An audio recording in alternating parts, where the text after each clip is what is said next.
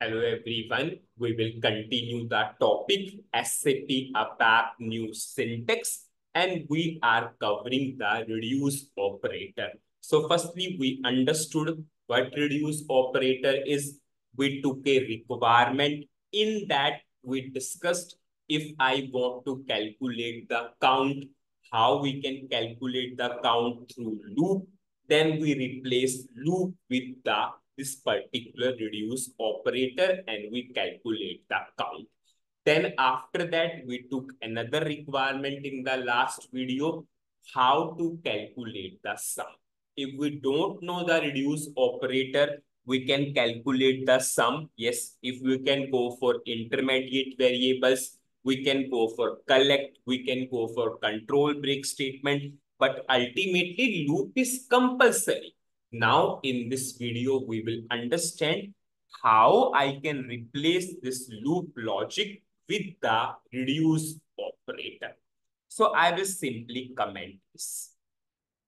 So this loop not required now. Now we will go for applying the loop. Now suppose what is our first result variable? LV underscore NETWR1 is equal to you all know what is the keyword for the reduce? Reduce. Now I will go for hash. We again put so much stress every time whenever you are going for hash, this must be your explicit data declaration. Do we have explicit data declaration? Yes. So system will understand that, that what will be the type of the result. Now we will go for first keyword. You all know what is your first keyword in the reduce? Init. Initialize. Suppose we are saying sum is equal to 0. So we initialized sum is equal to 0. You all know after that what is the keyword? 4.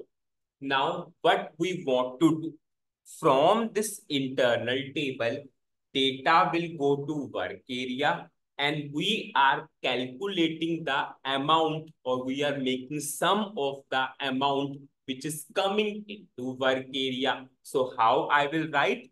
For work area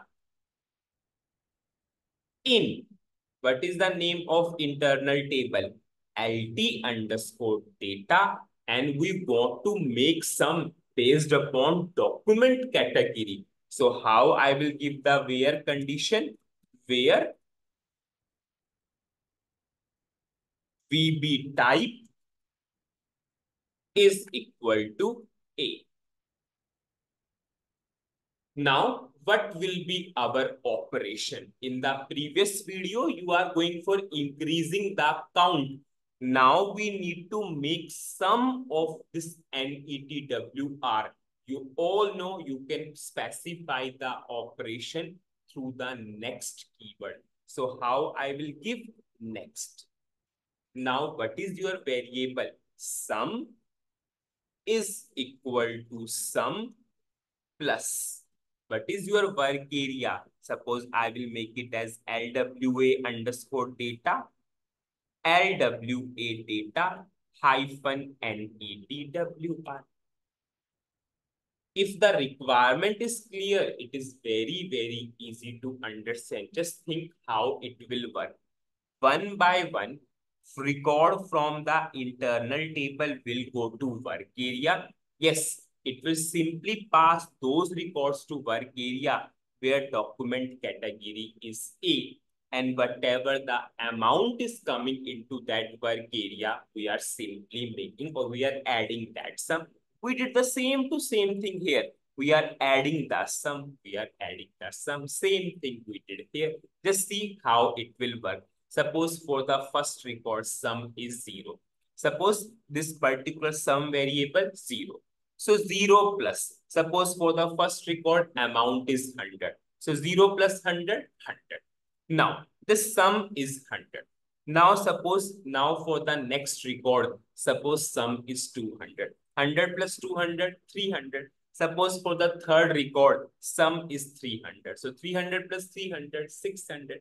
We are not going for increasing the count now. Now we are making the sum.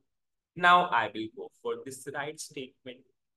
Similarly, we will put for this particular NETWR2.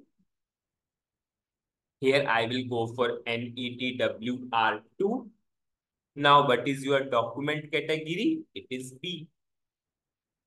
Now, I will write this write statement. Now, we will go for NETWR is equal to 3. This is your NETWR is equal to 3. Now, here we will go for document category C.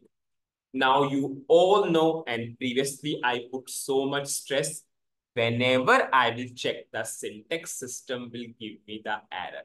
I will check the syntax, then system will say this work area is already declared. You can see it is already declared because whenever you are using this work area into this reduce expression or reduce operator or reduce keyword, SAP considered this as a local, local to this particular operator. So we can never, never go for explicit data declaration. We cannot declare again.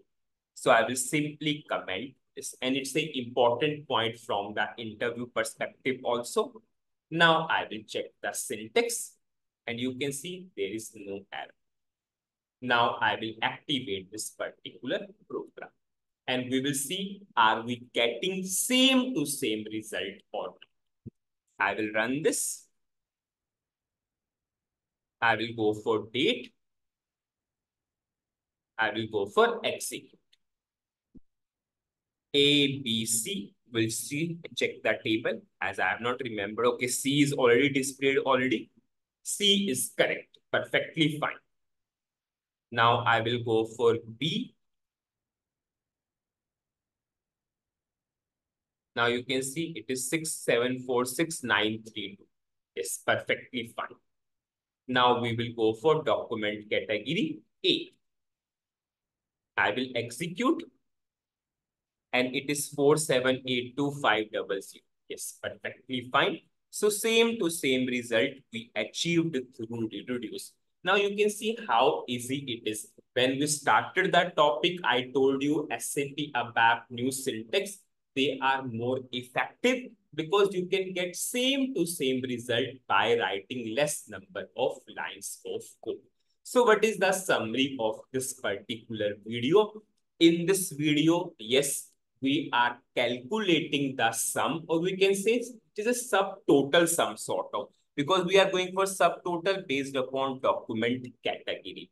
So for that, we are using the reduce operator. Firstly, I simply declare the, I simply use the output variable. Reduce is a keyword or we can say operator hash. You all know whenever you are going for hash, they must be explicitly declared. We put init sum variable is equal to zero. Four is for your iterations for work area into this internal table and VB type is equal to eight. Then what is your operation? Sum is equal to sum plus the work area amount. And we will simply, simply calculate one by one record will go to work area and it will simply add that particular thing and we displayed that total. So this is all about the reduce operator. We took two examples. Firstly, we calculated the count. Then we calculated the sum using the reduce operator. So this is all about the reduce operator. Thank you.